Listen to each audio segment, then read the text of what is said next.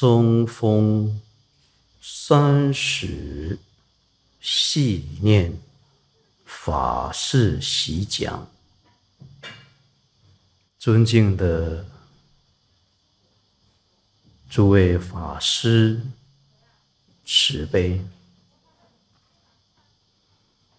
尊敬的诸位同修，护法大德，慈悲，大家早上吉祥，阿弥陀佛。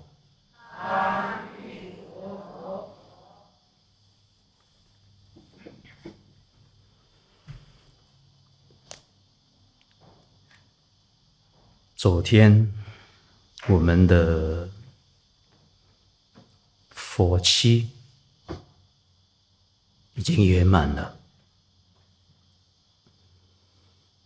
今天呢，我们在这个礼堂一起来举办这个三十系念的法事，祈求。这一次的法会呀，能蒙阿弥陀佛加持，能蒙中风国师来加持，希望这个法事的功德，我们能够回向虚空法界的一切众生。能够回向这个世界和平、大灾化解、小灾化无，也希望我们澳大利亚这个国家国泰民安、风调雨顺。啊，人民呢能够安居乐业，也祈求阿弥陀佛在这个地方啊，我们的家亲眷属，我们过往的父母，我们的累劫冤亲债主呢，以我们的真诚心。希望蒙阿弥陀佛接引，也借这个法事当中啊，也希望我们的父母、我们的朋友，在这一生当中能够闻到正法，在这个正法中啊，希望能够离苦得乐。也希望我们在这个法会当中，能够找回我们自己本来的面目。我们自己本来的面目是什么呢？这七天的佛期啊，我已经给大家讲的很清楚了。我们本来的面目啊，就是你那个自信。你的心性本来是阿弥陀佛的，本来是清净的，所以在这个法会当中啊，你能够找回到你自己，所以祈求在这个法会当中，我们每一个人，无论有形无形的众生。能够得到这个利益，这个是我们在这个地方举办这个三十系念的意义。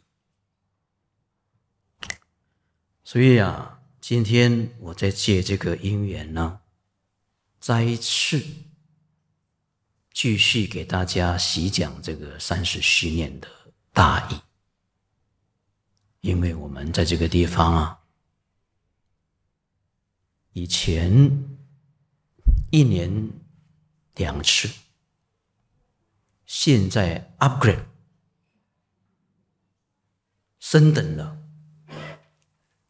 四次了，无常嘛，不知道以后我会升等到几次了。啊，可能以后说师傅每一个月做一次啊，要看因缘，啊，所以啊，希望啊，在这个学习当中，我们能够知道我们来做这个三十系念。用什么心态来做这个三世系念，那个才是关键。如果今天我们的心态用的不对了，就算阿弥陀佛在你的眼前，你这个三世系念的功德力一样，所得到是有限的，所以心态很重要。好。啊，因为原本呢，我想在过这几天、这三天里面，要跟大家来分享的，就是阿弥陀佛的极乐世界为什么称为极乐世界？为什么阿弥陀佛要建立这个西方极乐世界？为什么十方诸佛国土没有一尊佛都不劝导我们要发愿？求生西方，不仅仅十方诸佛国土，连华藏世界文殊普贤到最后，都是导归极乐。极乐世界有什么特别？极乐世界有什么特色？在这个极乐世界的境界里面，我们要用什么心，能够再跟这个极乐世界融入融化？啊！但是这个机缘呢，只能留在下一次的。当你明白西方极乐世界之乐，与我们娑婆世界之苦啊，你明白之后啊，你那个念佛的力道啊，才不会退转。那个念佛的力道啊。天天都在进步的。我们现在为什么进进退退的原因呢？你没有把这个事实搞真相、搞清楚、搞明白，所以有时候好，有时候不好。所以学佛一定要先搞清楚，我学佛的用心在哪里。我既然今天选择这个念佛法门，首先你要先认知这个念佛法门的好处是在哪里，你要清楚啊，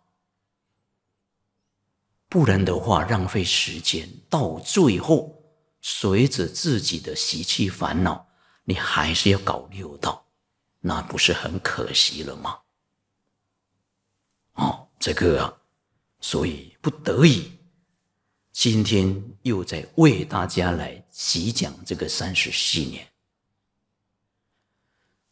那为什么要讲这个三十系念呢？实在讲，这个三十系念，我们师傅上人里面讲到很多，我们在这个地方只是来一起温习一下。作为一个提醒，所以啊，我希望大家，当我在跟大家习讲的时候，如果有讲一些不对的、不好的，你要常常提醒师傅。哎，我们大家都是一样的，都是一个心得，什么心得？希望能够离苦得乐，义重好重，大家一起来努力，一起来争取。就算我们今天念的不好，但是我们有这个心，要来学，要来发愿。所以我每次呢要讲经呢，说实在的，古人讲还没打仗啊，那个脚就软，软很软，就害怕了。所以你们呢有那个眼神。啊，微笑，嘿，来看师傅，哦，啊，不能用这种表情，是不是讲什么讲的话？这个，那我就害害怕了啊。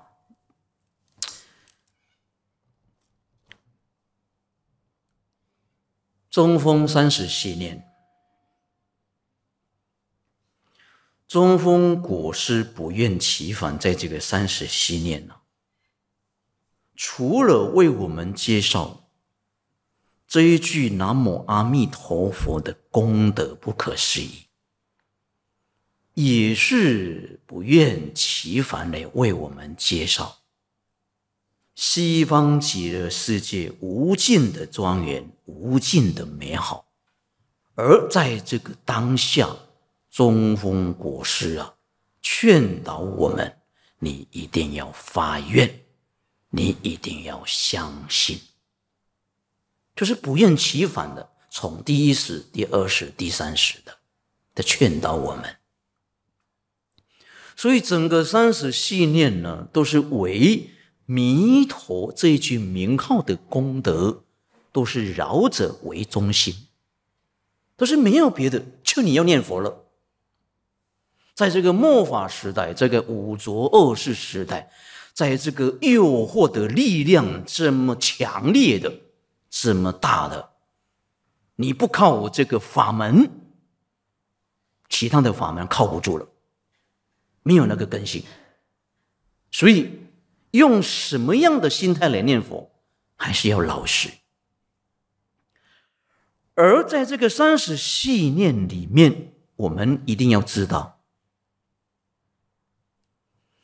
虽然都是围着这句名号为中心，但是中风果师后面又讲了一句，这个大家要记得了。能不能成就念这句南无阿弥陀佛？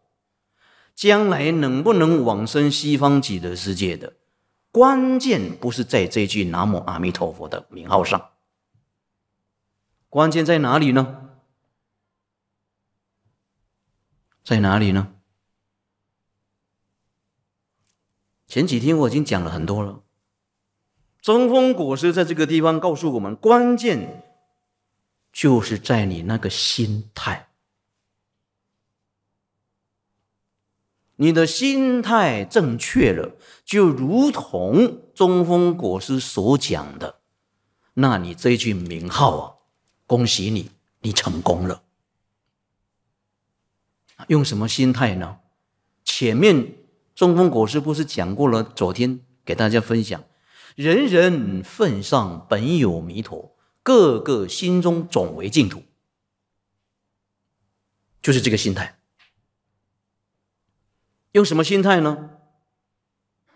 就是说，你能够把一切众生在你的眼前能够所看得到的，无论这个人是好还是不好，无论这个人是善的还是不善的，无论这个人是讨厌还是不讨厌，无论这个人你欢喜还是不欢喜的，你只要用这种心态，把这些一切的众生。皆是阿弥陀佛变化所做的这种的心态来念佛，那恭喜你了。将来你这句名号的一定念得很有成就。就算现在我们看不到，但是总有一天你就会感触得到了。这个我们一定要明白啊，都是为这个中心呢。所以，为什么中风果师啊，在这个三十系念里面不厌其烦，一遍的又一遍呢，劝导你要好好念佛，用你的心去念佛，用你那个心态正确的心态去念佛，看待一切人皆是阿弥陀佛。就算你不喜欢，你也当作是阿弥陀佛来看待，你那个心就容易定下来了。你用这种心来念佛。而且最大的好处是什么呢？不仅仅将来我们往生西方极乐世界，可能会自自在在容易往生西方，而且在这个生活里面呢，你最大的好处是什么呢？这个是我的感触哦。而我这个感触跟你们分享，什么感触呢？当你遇到什么样境界的时候，你不会被这个境界而所伤害的。这个是我最大的好处，而且在这个好处当中，不仅仅我自己不会受到伤害，而我不会去伤害别人。你明白我的话吗？我今天师父所讲的是心比心呐，这个是我念佛的好处啊。当我遇到逆境也好，顺境也罢，善缘也好，恶缘也罢。无论这个人是什么样的人，我自己不会受伤害的。就算这个人来诽谤、批评、侮辱、讲一些不善的语言来伤害我的，我也不会被影响。这个就是念佛的好处啊。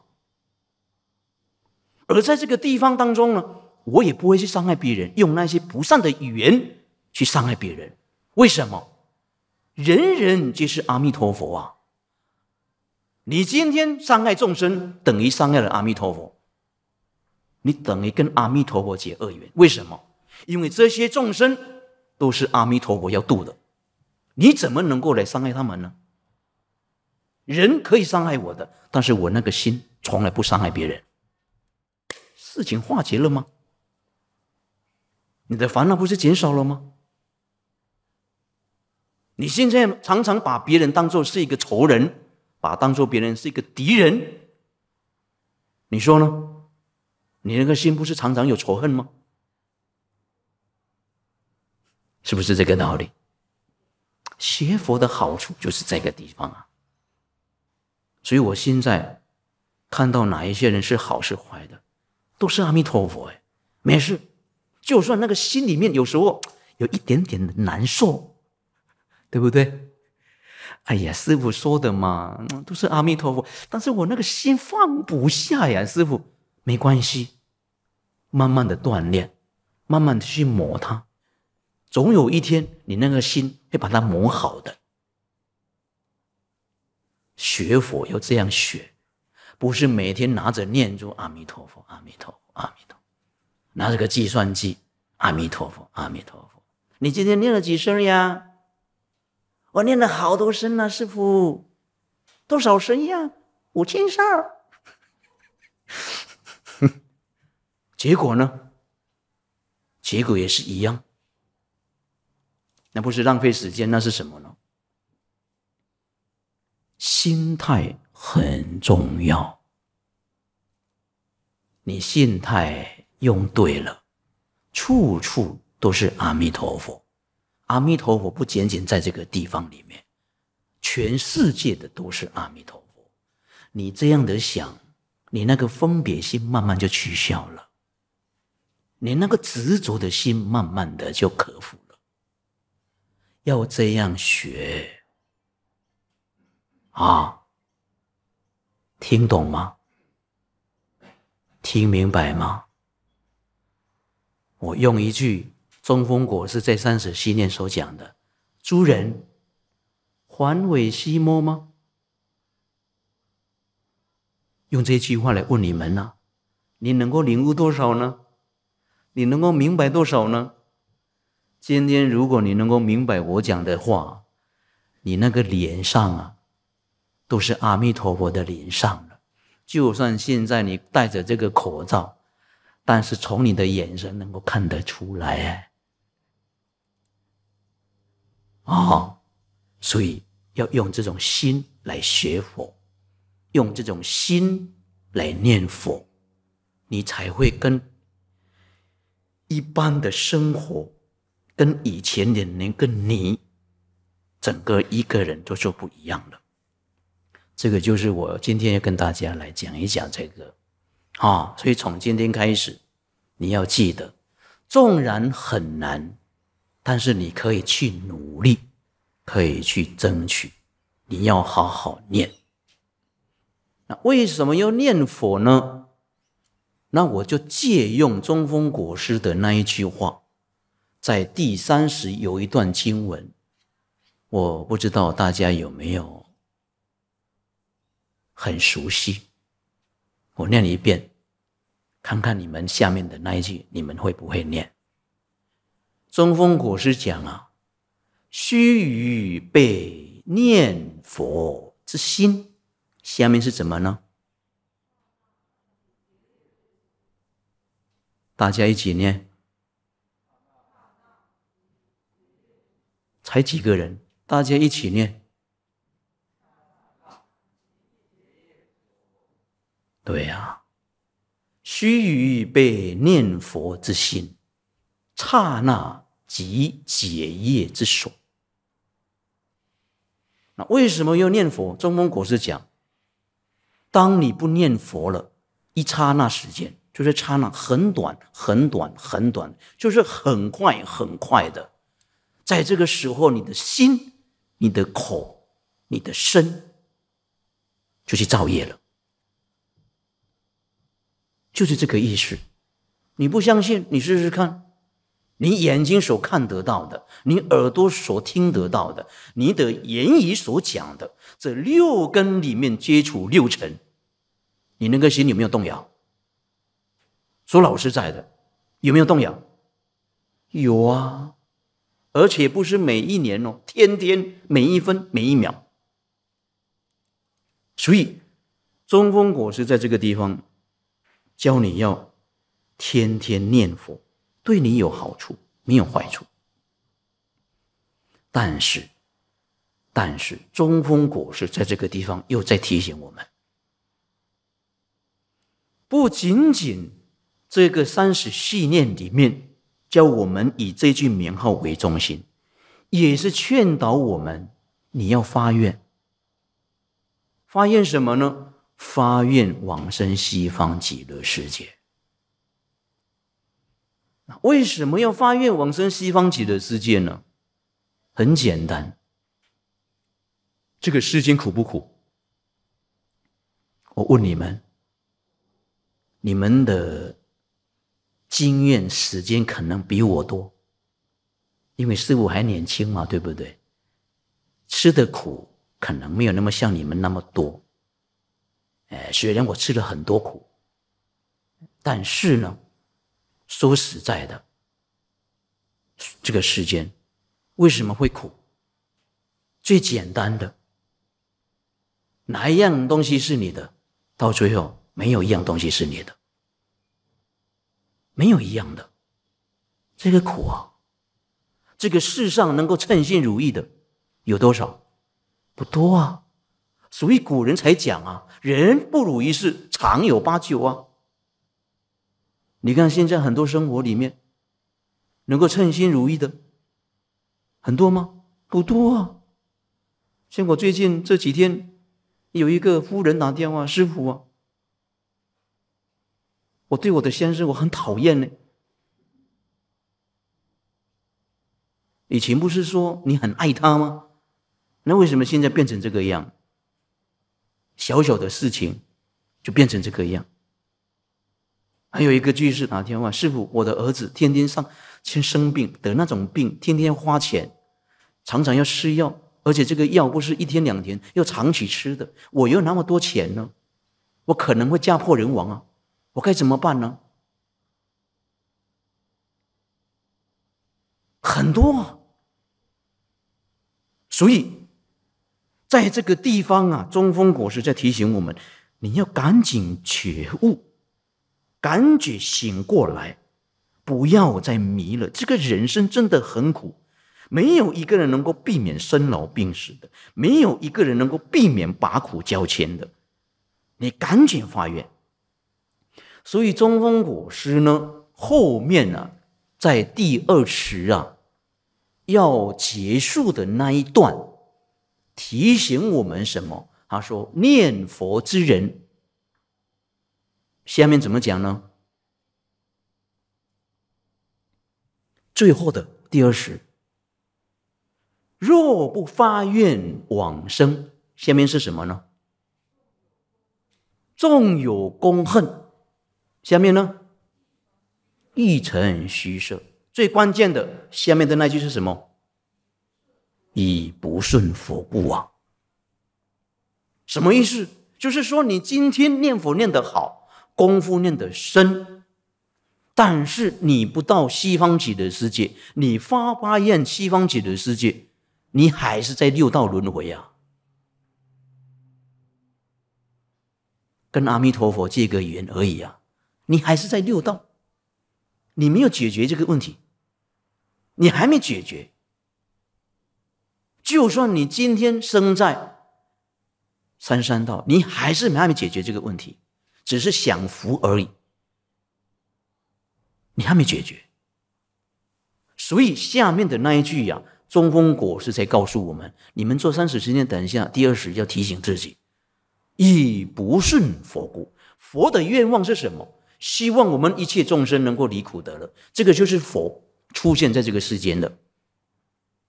今天如果宗教在这个世界上能够做得到，释迦牟尼佛、诸佛如来不会出现在这个世间，就是因为这个世间的宗教做不到，诸佛如来才出现，告诉你这个事实的真相，要如何来离苦得乐。而这个离苦得乐最好的方法，只有靠这个念佛。所以今天佛说的教诲，你违背了，你不做了，你就是没有如佛之愿，如佛之教啊！你怎么能够成为阿弥陀佛的弟子呢？这个道理很深。需要一步一步的去体悟、去学习、去争取、去努力。我相信，总有一天你就能够成就。听懂吗？听明白吗？不明白？不明白？那不明白，你就回去学啊！啊，师傅时间有限。跟你们见面也有限，啊，对不对？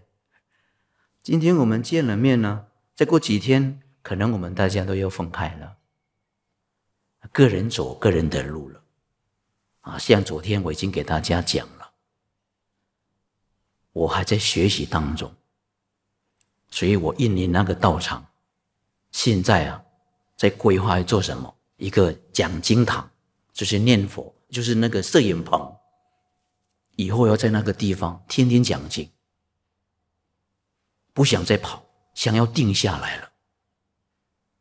因为世间无常啊，看因缘，有因缘再出来，没有因缘，好好待在那个地方，哎，讲经，常常提醒自己，除了讲经，带着大众来念佛，天天要念佛。为什么？这个就是我的心愿，我的愿望。哦希望大家要好好用功，真的，人生难得啊，佛法难闻呐。在这个佛法当中，你能够闻到这个净土法门，你要把它抓住，不要把它放过。它是我的命根，是将来能够带我离苦得乐的。我不能这么容易把它、把它轻易把它放过。我要好好抓住这个机会。为什么？无常一来，什么都没有了。真的哎，师傅最近呢，心里有一点难受。怎么难受法？我在雅加达印尼认识了一个大护法，人很好，很护持三宝，不仅仅三宝，很照顾印尼的人民。钱所赚的，自己应用在二十分、八十分供养给大众。那些孤儿，那些人民苦的，老人院、医院供养出去，哎，一家人四口生活很简单呐，是位大老板呢。我每次到亚印尼的时候，会到他的去家里去过一个晚上，过两个晚上。那个房子很简单呢，生活非常的简单。穿衣服很品很普遍的，很简单。用的用品都是很简单，开的车都是喝最简单的。一个好好的一个人哦，心脏病突然发作，走了，来不及了。这么好的一个人，就好像我们佛陀在世的时候，是一个那个吉树吉孤都远极孤都长者，是那样的一个人，是一个大企业家哦，钱很多，百分之八十供养给大众，哎，所以像这一类人这一类的人呢，师傅常常在后面护持他。鼓励他，无论在什么样的境界，就算人家来批评你，不能退转，你那个心一定要为大众。太太、先生、儿子、女儿，都是很简单、很简单，不像现在的啊，仗着父母的那种有钱的，目中无人。就这种人太多了，特别现在的年轻人。不懂得规矩，哦，太多太多了，所以真的很悲哀这个时代。哦，所以今天呢，我就给大家来简单分享，希望大家能够启发。好，我们看下面中公国师的为我们说明是什么，请合掌。了则头头见佛，悟来步步西方。好，经文念到这个地方。了则妥妥见佛，悟来步步西方。这几天我已经给大家做了一个简单的说明了。说到哪里呢？说到啊，我们在历朝历代呀，很多很多这些的传记里面呢，我们大家可能有看得到，看得到什么呢？看得到啊，这些诸佛菩萨视现到这个世间呢，很多很多这些故事里面的记载啊。这些诸佛菩萨都是以什么身份来视现的呢？都是以在家居士，都是以凡夫的身份呢来示现，而且视线当中啊，是跟我们一起在这个生活里面呢，一起呀，在一起生活哎。很多人有时候发现，哎，原来呀，他是不不是一般人，是一个诸佛菩萨来示现。当你知道这个是诸佛菩萨的事件，哎，他老人家走了，那走了怎么办？哎呀，后悔了。早知道这样，我会这样；早知道那样，我会这个样。话都是你讲的。以前不是常常讲吗？早知今日，下面是什么呢？啊？何必当初？啊，就是这个嘛。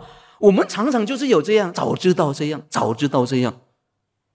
你不能用这种心态来学佛。早知道这样，早知道那样，这种侥幸来学佛，用这种心态来学佛不会得力的。不能常常早知道，早知道，早知道。阿弥陀佛有时候在你的旁边，你自己都不知道；视线在你那边，你都不知道。有时候视线什么蚂蚁，有时候视线什么蚊子，看你敢不敢。你在睡觉的时候，那个蚂蚁，那个蚊子，嗯嘛，嗯嘛，嗯嘛，你会讨厌吗？嗯，吵死人的。是不是这样？可能你现在是不会，你以前可能会哦，是不是这个样子呢？在这个地方很多出现这个问题啊，很多诸佛菩萨就是视现这个凡夫在家居士来来帮助我们、提醒我们的，真的哎。你为什么看不出来？因为你那个心，你那个心什么？那个心没有佛，没有佛心，所以你那个心看不出来。当你看得出来的时候，原来呀，这些都是阿弥陀佛变化所做的。所以你看，昨天跟大家讲过了，中国四大名山，占着出在家居士的身份，占了几位？站着几位呢？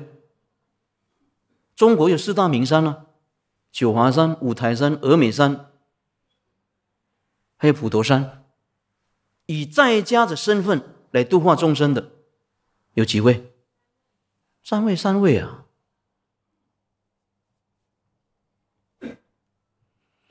那请问师傅，为什么诸佛菩萨在这个公案里面很多事件呢？这些在家居士的身份呢，还有这些反复的身份呢，只有一个原因，什么原因呢？就是希望啊，来开导我们，来教导我们，希望你那个分别心呐，不要变成你将来念佛的障碍。分别心会障碍我们往生西方极乐世界，分别心能够障碍我们念佛得力，分别心能够障碍我们与阿弥陀佛的相应呢。大家一定要知道，分别心是一种烦恼的根源。为什么是一种烦恼的根源？如果你从这个地方明白了。分别心为什么是一种烦恼的根源？因为分别心是执着烦恼的根源。你明白这个道理吗？这个讲的话比较深度了。你要知道，分别心是我们执着烦恼的根源的根，在这个地方产生的自私自利。你要明白这个道理啊！我今天能够讲出这个道理，只是因为我的心里面常常去感触到，才明白这个道理。分别心呢？今天诸佛菩萨如果出现以佛的身份，你可能对他很恭敬呢，这个不错，你那个信心可能会升起，不会错的，我相信。就算我们今天来到这个念佛堂。你看到这个阿弥陀佛西方三圣，我不用教你的，你那个恭敬的心可能会起来了，而且礼礼拜很恭敬。你看每个人进来念佛堂，心什么？你不用教他问讯嘛？哎，问讯，对不对？我们要诵经之前，先做什么？礼佛上拜拜，容易做得到啊。但是，当你走出这个念佛堂，你那个心会有这样的感觉吗？不用讲，一看一目了然。不用说，所以，我们最大的缺别就是在这个地方。我用一个比如了，我用个比如。今天如果我们有机会，比如说现在没办法了，像以前我们遇到我们师傅上人，你能够跟他一起吃个饭，然后你在他的面前能够听他开示，然后跟他拍一个照，然后能够跟他一起，你那个心的感觉是怎么样？很法喜，很感动。可能你自己不知不觉，你可能会掉眼泪。像师傅每一次见到我们师傅上人先恩师，我那个眼泪啊，不知不觉啊就掉下来了。为什么会掉下来？因为他的慈悲心呢，感动了我们的。我跟你在一起，我为什么眼泪掉不下来？为什么？慈悲心没有。我每次见到他，眼泪就流下来了，而且我在想，我过去生中可能修了一点点的福报，才这一生当中能够遇到一个高僧，而且在这个高僧当中，我又能够机会我来供养。你说这个好不好？你那个心情怎么样？你的心情很快乐，是不是这样？就好像你见到我的时候，是不是？哎呀，见到雪佛法师，心里很开心，就算没有掉眼泪也没关系呀。是不是那种心情？但是，当你遇到一个你不喜欢的、你讨厌、你厌恶的，你那个心情会这样的吗？会不会？你能够用在你那个老和尚的心情，然后用在你在你一个你喜不喜欢、你讨厌的那一个人，你会吗？打死你，你也不会。是不是这个道理？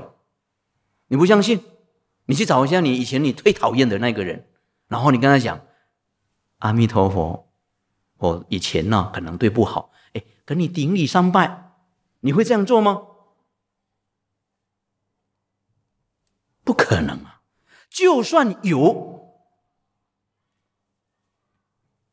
我们也很少。所以啊，在这个地方。”我们一定要明白这个道理，所以前面我刚才已经讲过了。你今天要来这个地方念佛，好不好？很好。你要在这个地方来做三十七念，好不好？很好。我要来在这个地方来发心做义工，好不好？很好。我要来这个地方来为大众服务，很好不好？很好。但是你那个心态。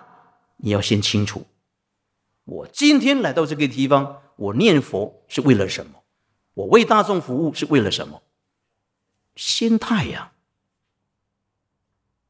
不要在服务当中的时候做义工，看到一个人你不顺眼的，你当做这个仇人来看待；一个人不听你的话，你就对他一种偏见。你能够用这心态来看待一切众生吗？是不可以的。众生本来都是佛，只是因为现在迷了，不知道他的本来的面目，所以会做出样样让我们很难看，让我们很难受。但是我们作为学佛的人、念佛的人，我们一定要用什么心态？就是用这种心态。就算我们今天来服务大众，看到你一个不喜欢的。你要把它当做什么？我在锻炼，我来修行。我不是跟人家结恶缘的，我不要跟人家来结冤仇的。我要来修行，我要想要离苦得乐。他是我的老师啊！你用这种心态来看一切事，看一切人，看一切物，你整个人生真的是不一样。你要记得。眼前的路还很长，后面的路已经过去了。就算很多让我们呢坎坎坷坷的这些，让我们很烦恼，已经过去了，不用再想它，去想我们的未来。未来还很美，能够放得下的就放下，能够放得去的就放去，不用去计较它。人生无常，活在当下。就算很不愉快，就算不能称心如意的，我们也要去努力，让它能够减少。这个是我们念佛的精神，学佛的精神，我们一定要学。所以中峰果师啊，在第二十有一段经文，才为我们不厌其烦的来提醒我们念佛的人，哪一段的开示呢？当杂乱念佛，杂乱之情能举起一念，下面的那一段是什么呢？下面的那一段是什么呢？当你的心杂乱之情能举起一念，这个一念下面的那一句话是什么呢？你们不是常做三十七念吗？哎，等一下，等一下，师傅，我看一下。说看你下一下，这什么？哎呀，常常做三次训练，你还要看书吗？要背起来，还需要这样吗？来不及了啦！下面的那一句告诉我们：“如对持尊啊，暗定六字洪明，一以出口入耳。”就是这个了。什么叫做如对持尊？持尊讲的就是阿弥陀佛，就是这句名号。你能够用这种心态来看待一切众生，就如同来看待一切皆是阿弥陀佛。你还会有问题吗？你还会有跟人家计较吗？你还会跟人家争执吗？你还会厌恶吗？你还会讨厌吗？还会不喜欢吗？可能没有。就算有。起码你那个烦恼没有那么多，所以在这个地方，诸佛菩萨视现在这个世间，以菩萨、以在家居士、以反复的身份，就是在这个地方教导我们，教导我们什么呢？其实只有一个目标，什么目标呢？就是要教育我们、开导我们、开导我们什么呢？你要常常培养，培养什么呢？培养一种平等的心态，来看一切人、看一切事、看一切物。无论今天你学的法门。是念佛法门也好，禅宗也罢，无论今天你学的是密宗也好，教下也罢，你要常常用这种心态来培养啊，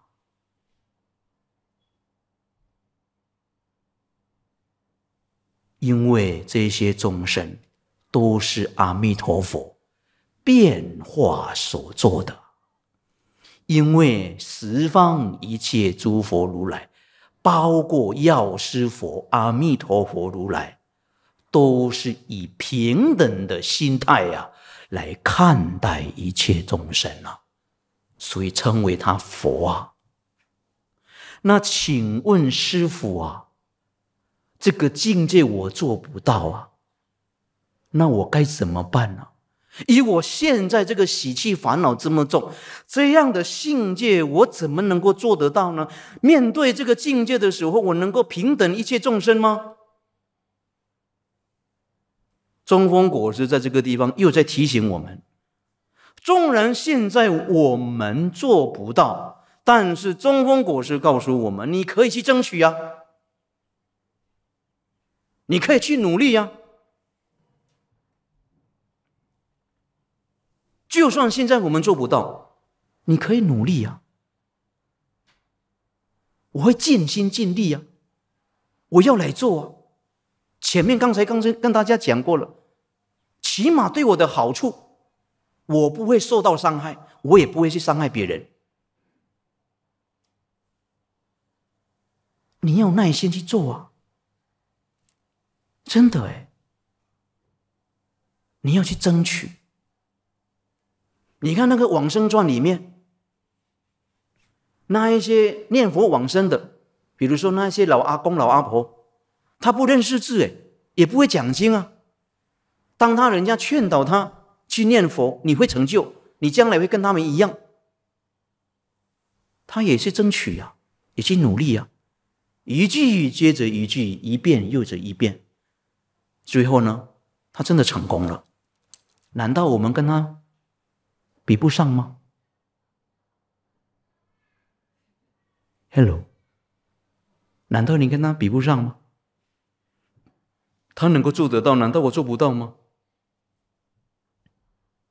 你们大家就行，大家能够做得到，你可以争取，没关系，总有一天你会得到弥陀的加持，真的。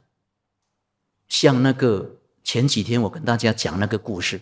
宋朝的那一位继士，学人他的先生跟他不同，不是念佛的人，他的先生历朝历代，他的祖先都是修丹的，都是炼丹，就是修修道的，但是没有妨碍，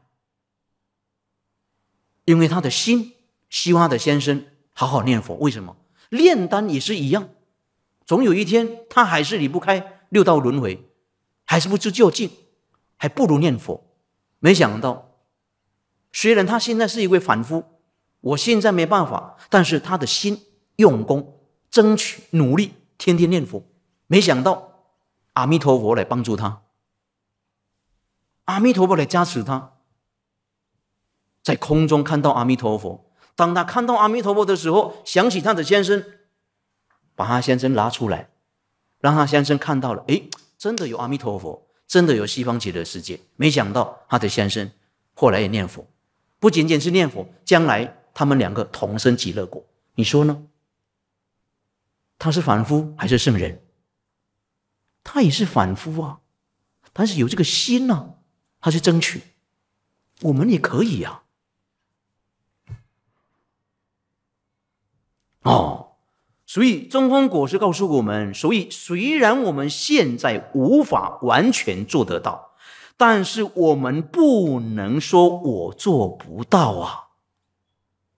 然后你用你那个心态是什么呢？我不学了，这个是不可以的，因为我们都是阿弥陀佛的弟子，因为我们将来有一个使命，将来往生西方极乐世界，我要去成佛，将来成佛，我要去度化无量无边的众生啊！所以你要用什么心态呢？我要去学，你能够学多一点，你就能够得到一点的受用。你能够学二点、两点、三点、五点，你就有得到五点的受用啊！这个好处为什么不学呢？如果今天我们完全不学了、不做了，那怎么办呢？只能靠自己啊！所以，我们一定要这种的心态。如果完全学到了，依教奉行了，那恭喜你了。你念佛的境界，就像此地所讲的：“了则头陀见佛，悟来步步西方啊！”明白吗？每一天。每一分每一秒，你所看到的都是阿弥陀佛。阿弥陀佛不离开你的。你所遇到的境界，虽然我们现在活在五浊恶世，但是你的心里面所看到，就是一片的净土，就是一片的极乐世界。为什么不学呢？要好好努力。最后啊，我来给大家来分享一个故事。这个故事啊，值得我们来看。来听，而且希望能够启发。哎，因为时间还有五分钟，啊，我来给大家讲这个故事。这个故事没有讲完，没关系，明天继续。好像看连续剧一样。呵呵呵哦，以前呢，师傅啊，我是说以前啊，不是现在了。以前师傅啊。很喜欢看连续剧的，啊，一看呢，有时候不知不觉天就亮了，然后呢，睡不着觉，才来后悔，哎呀，为什么每天看这个连续剧看得很头痛？那真的啊，我问你们啊，有没有看过连续剧的，请举手。特别现在的那个那个连续剧，那个那个演那个生活现在的生活的那种那种那个连续剧的啊，很多嘛啊，有时候人家讲，哎呀，一种安慰啦，哦，一种安慰，要不然呢，怎么好过日子呢？只能够用在这个看连续剧的，对不对？我们也没办法呀，特别是老人家呀，啊，老人家有一种毛病啊，最容易是什么？患得患失啊。啊，所以心不定啊，那怎么办呢？看连续剧，这不能怪啊。那我给大家来讲一个故事。过去呢，在古印度啊，啊，在古印度哦，就是说，释迦牟尼佛入涅盘之后了，有一位菩萨，这位菩萨很了不起，很精进，很用功。那这位菩萨的法号呢，叫什么菩萨呢？名叫做无住菩萨。无常的无，注解的注，啊，无住菩萨。无住菩萨呢，他在这个修行过程中啊，他有发了一个愿，什么愿呢？就是说他一生啊，要见弥勒菩萨，他要见弥勒菩萨，他一生。我最想见的就是弥勒菩萨，啊，像我们，我这一生最想见的就是我最爱的老公，是不是？还是最爱的老婆？我这一生最想见的就是阿弥陀佛，对不对？是不是啊？是不是？啊，这样比较好听嘛，呃，这个整个气氛就带动起来了嘛。对不对？我最想见的就是阿弥陀佛，头一个就是阿弥陀佛。以前手机放在第一位，现在阿弥陀佛放在第一位。以前连续剧放在第一位，阿弥陀佛放在第一位，处处都是阿弥陀佛。这个五住菩萨他的愿望啊，就是想要见弥勒菩萨，所以呀，他去发愿这个心。那你要见弥勒菩萨。首先，你要先学弥勒菩萨的法门。弥勒菩萨的法门是什么呢？叫做慈心三昧，就是专门修慈悲心的。你那个慈悲心不够，你想要见弥勒菩萨是见不到的。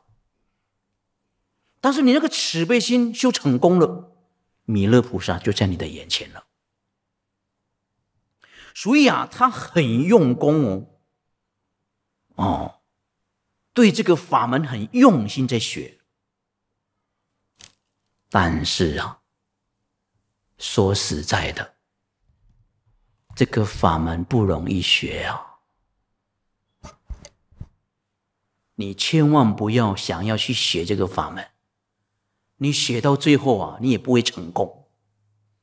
真的，还不如啊。老实念佛，将来到西方极乐世界呢，你天天能够看到弥勒菩萨，真的，你天天能够看得到的，为什么呢？因为弥勒菩萨每一天到西方极乐世界来教书啊，所以你天天可以看得到。有什么问题，你可以问他老人家，因为弥勒菩萨天天来啊。来教什么？就是教这一课。而且，你想要去参访弥勒菩萨的地方的道场，多帅内院，随心所欲，什么时候走，什么时候都可以的。而且弥勒菩萨听到你呀，哦啊，管音量啊，关居士啊，你是阿弥陀佛的弟子，你是 VIP 的嘞，特别的优待。因为你是阿弥陀佛的弟子，不相信你试试看。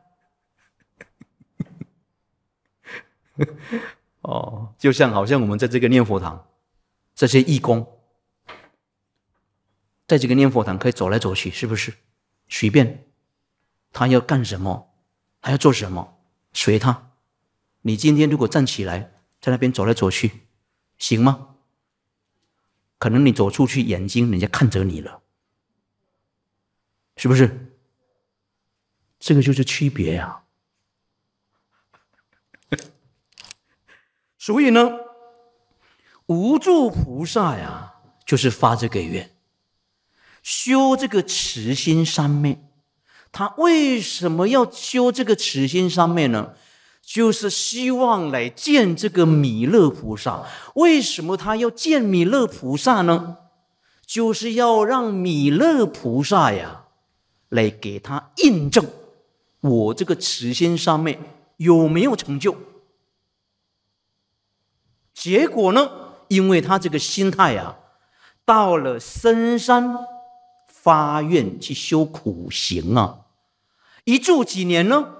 三年，而且很用功，很精进哦。大家有没有听过这个故事啊？有没有？有的请举手。五住菩萨很用功哦，不能说没有用功，很精进的。结果呢？三年后了，五住菩萨有没有看到阿弥陀佛？有没有受到感应呢？有没有？有没有？时间到了。哦，明天呢，再继续啊，给大家分享这个故事。希望这个故事能够启发，对于我们这一生当中来学佛。好，今天呢，如果有讲一些不对的地方，请你们大家多多批评。最主要的，刚才我讲的，我们来到这个地方，不是为了这个法会而已。也要来调整我们的心态。我们今天的念佛，也不是为了别人，也是为了你自己，调整你的心态。我今天的诵经，也不是给佛菩萨听的，也就是一样，又给了自己有没有虔诚心。所以念佛不在外面，念佛不在多，念佛不在你有念多少声，你那个心态。才是一个关键。好好祝大家六十吉祥，祝大家身体健康，祝大家幸福美满，祝大家努力念佛。再过几天，我们大家一定要，已经要要迎接这个新年了啊！二零二三年又到了，等于啊，我们的寿命又少了一年了，时光又少了，生命。又短了，那你要好好念佛，希望啊，我们将来同生极乐。谢谢大家，阿弥陀佛，阿弥陀佛。